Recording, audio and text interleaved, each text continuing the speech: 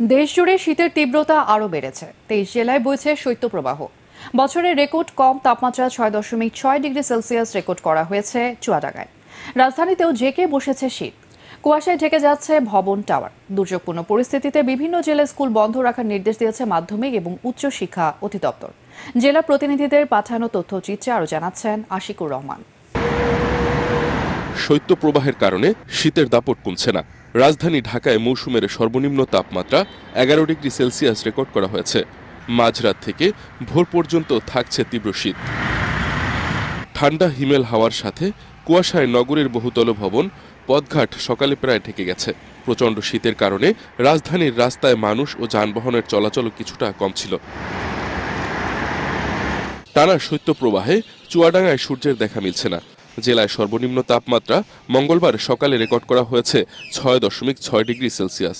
বন্ধ ঘোষণা করা হয়েছে জেলার প্রাথমিক ও মাধ্যমিক বিদ্যালয়। ঠান্ডায় দেখা দিয়েছে শীতজনিত নানা রোগ। হাসপাতালগুলোতে বেড়েছে ঠান্ডাজনিত রোগীর সংখ্যা।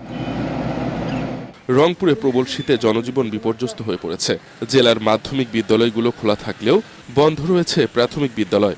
এদিকে গ্রাম অঞ্চলে শীত নিবারণে আগুন পোহাতে গিয়ে প্রতিদিনই ঘটছে দুর্ঘটনা। এদের মধ্যে অনেককে রংপুর মেডিকেল কলেজের বার্ন ইউনিটে ভর্তি করা হয়েছে। কনকনে ঠান্ডায় দিনাজপুরে জনজীবন বিপর্যস্ত হয়ে পড়েছে। হিমেল হাওয়া আর কুয়াশায় চারদিক ঢাকা পড়েছে।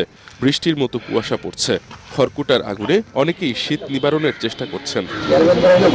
মাগের হাড় কাঁপানো শীতে জুবুথুবু হয়ে পড়েছে দেশের সর্বোত্তরের সীমান্ত জেলা পঞ্চগড়। ঘন কুয়াশা ও কনকনে ঠান্ডা বাতাসে বিপর্যস্ত হয়ে পড়েছে জনজীবন।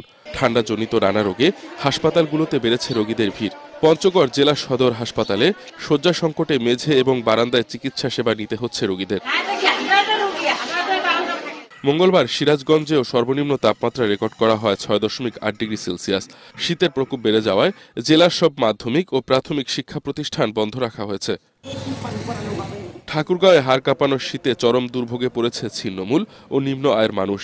ভোর থেকে পুরো জেলা ঢাকা পড়েছে কুয়াশার চাদরে। প্রচণ্ড শীতে বিপর্যস্ত মেহেরপুরের জনজীবনও ঘন কুয়াশায় দিনের বেলায় হেডলাইট জ্বালিয়ে যানবাহন চলাচল করছে। অতিরিক্ত ঠান্ডায় মাধ্যমিক বিদ্যালয়ের কার্যক্রম বন্ধ থাকলেও খোলা রয়েছে প্রাথমিক বিদ্যালয়।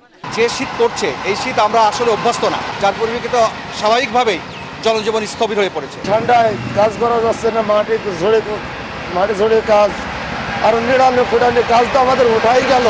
ভীষণ অসুবিধা হচ্ছে বাইরে বেড়াতে। আমরা গরিব মানুষ।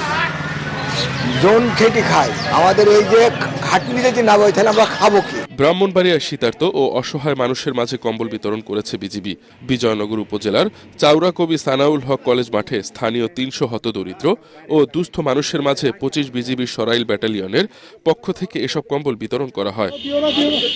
Bureau report, ATN, Bangla.